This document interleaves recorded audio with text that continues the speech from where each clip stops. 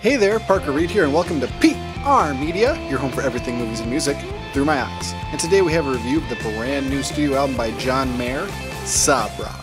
Sob Rock is the eighth full length studio album by soft rock, indie rock, acoustic rock artist John Mayer, and it features a departure in his sound, which is very reminiscent of 1980s music. Think like Eric Clapton and just soft rock you would hear on the radio, and that is what this album is entirely comprised of. There are a lot of glossy guitar parts, there are a lot of smooth lead guitar parts, a lot of synthesizers, and even some acoustic percussion provided by none other than the Africa percussionist. So this album is oozing 80s parts, and John Mayer is playing the part, and for the most part, this album is a pretty great success. For those of you who know John Mayer already, you probably know him for songs like Slow Dancing in a Burning Room, Say, Daughters, those kind of acoustic songs that were laden across pop radio for the past decade or so. And Sob Rock is in that same vein, but it does feature a lot of 80s sounding styles instead of that more traditional pop stylings. The lead single Last Train Home is a great example of that because it's a shorter song. It doesn't feature a really long extended guitar solo, which John Mayer has become known for, and it sounds almost exactly like Toto's Africa, so go figure on that one. And to start off on the positive side of things, I think this album does itself a great service by being pretty short at 38 minutes and 10 songs. I think if it was any longer than that, it would have overstayed its welcome, and I think John Mayer thought that as well because he really wanted this album to be short and concise and to the point.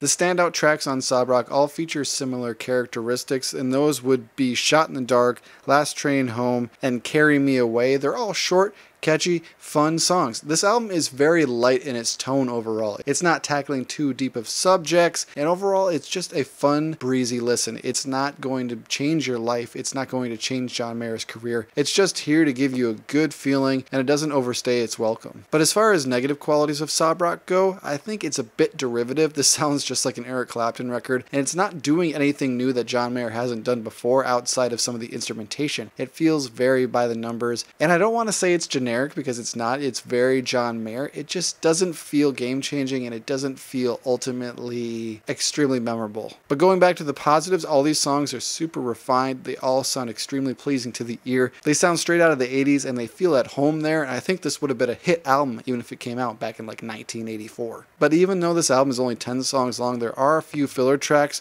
Those would probably be Till the Right One Comes and Why You No Love Me. They feel just kind of throwaway and B-side. I think if this album could have been eight or nine songs, it would have been even stronger than it is currently because there are a few throwaway songs and there isn't a hell of a lot of variety on Sob Rock, although what you do get is pretty strong. And once again, John Mayer hammers home the fact that he is a guitar prodigy. His guitar work on this record is phenomenal. His vocals are always smooth and silky, and there are a lot of great melodies delivered on this record, so I think it is a positive listen. I did enjoy my time with it, and overall, I would give John Mayer's Sob Rock a solid 8.5 out of 10. It's not a game changer, but it's not a bad album either. It is incredibly listenable and enjoyable, and it's a nice, fluffy listen to listen to over this summer. Thank you so much for watching this video. If you liked what you saw here, you can check us out on Facebook or Instagram and like, comment, and subscribe if you so choose. My name is Parker Reed. You've been watching PR Media. Keep supporting physical media, and I'll see you next time.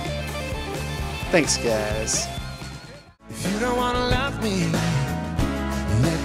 me go.